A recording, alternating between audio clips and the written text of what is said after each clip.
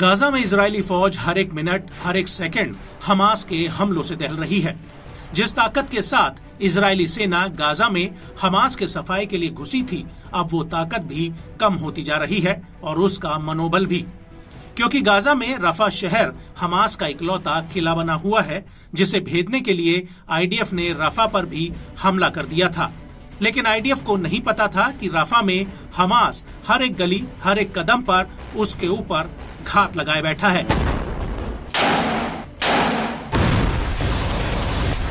दरअसल ये बात हम नहीं कह रहे, बल्कि रफा में आईडीएफ के ऊपर हो रहे भीषण हमले इस बात के गवाह हैं। रफा में अब जंग की दशा और दिशा दोनों बदल चुके हैं। और इसी कड़ी में अब हमास की सैन्य शाखा अलकासिम ब्रिगेड ने आईडीएफ के एयरक्राफ्ट पर एक बड़ा हमला किया है। जिसका उसने एक वीडियो भी जारी किया है। वीडियो में आसमान में एक हेलीकॉप्टर उड़ता हुआ नज़र आता है। उसके बाद हमास का एक लड़ाका लॉन्चर में एस एम सेवन यानी surface to air missile load करके उसे कंधे पर रख के फायर कर देता है।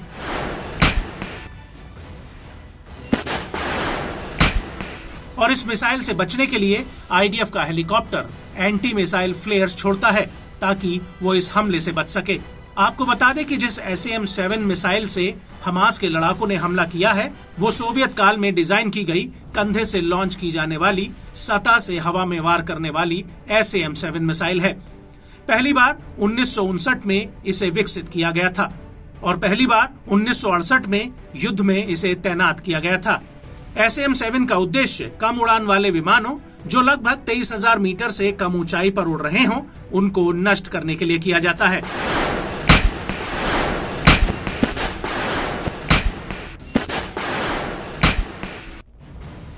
और इसके बाद अलकुच ब्रिगेड ने तो गाजा के भीतर इजरायली सेना की सैन्य चौकियों पर मिसाइलें और बम बरसाए। और इस हमले का भी वीडियो सामने आया है, जिसमें साफ़ दिख रहा है कि कैसे अलकुच के लड़ाके बोरियों में रॉकेट लॉन्चरों को फिट कर रहे हैं। और इसी दौरान अलकुच का एक लड़ाका लॉन्चरों में रॉकेट फिट करने लगता है। गौर करने वाली बात यह है कि ये लॉन्चर लकड़ियों से बनाए गए हैं, जिनमें सैकड़ों रॉकेट फिट किए गए हैं। और इसके बाद ये रॉकेट एकाएक फायर होने लगते हैं। जो कभी इस तरफ़ तो कभी उस तरफ़। आसमान को चीरते हुए आगे बढ़ते हैं।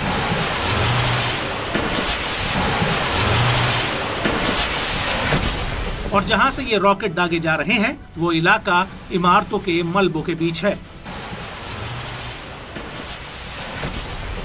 और इन हमलों के दौरान जब इजरायली सेना अल सुजैया में घुसने की कोशिश कर रही थी तो अलकासिम ब्रिगेड ने उसके ऊपर एक बहुत बड़ा अटैक कर दिया। अलकासिम ब्रिगेड ने इसका एक वीडियो फुटेज भी रिलीज़ किया है, जिसमें पहले तो गाजा में आईडीएफ के कई सैन्य वाहन नज़र आते हैं, और इसके बाद वीडियो में हमास का एक लड़ाका फ्रेम में आता है। ये लड़ाका पेड़ों के पीछे छिप कर लगातार लॉन्चर में बड़े बड़े रॉकेट भरकर फायर कर रहा होता है। बड़ी बात यह है कि वीडियो में आसपास के इलाके को भी धुंधला किया गया है ताकि रॉकेट लॉन्चिंग वाली जगह की पहचान ना हो पाए।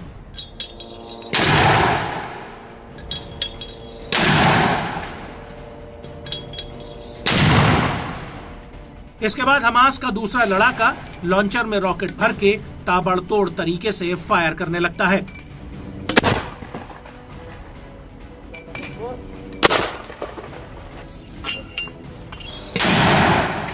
इसी दौरान वीडियो में आईडीएफ का एक रेस्क्यू हेलीकॉप्टर भी नज़र आता है, जो घायल हुए सैनिकों को एयरलिफ्ट करने के लिए वहाँ पहुँचता है। वीडियो में दूर से कई सैनिक दिख रहे हैं, जो एक गाड़ी से सैनिकों को उतारकर हेलीकॉप्टर में चढ़ा रहे होते हैं।